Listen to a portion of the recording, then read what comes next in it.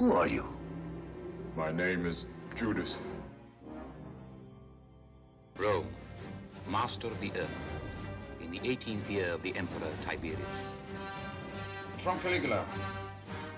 The courage of a military tribune must not be squandered in the baths and banquet halls of Rome. Your order to the garrison of Jerusalem.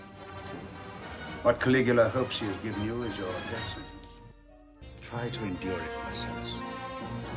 Grow hard.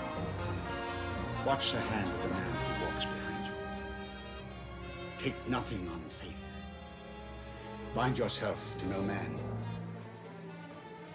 In the great days of Greece, we Romans were no more than barbarians.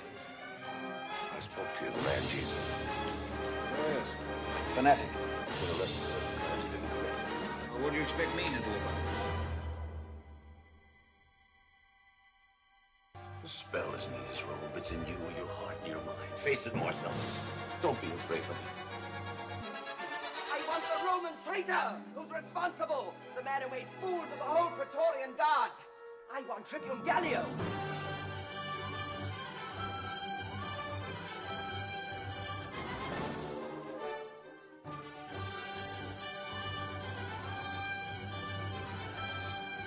Above all, be a Roman, my son. And be a man of honor. Perhaps there'll be amusement in being a man of honor.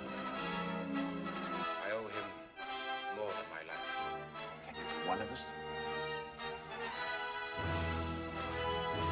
From this day on, I'm enlisted in his service. I offer him my sword, my fortune, and my life.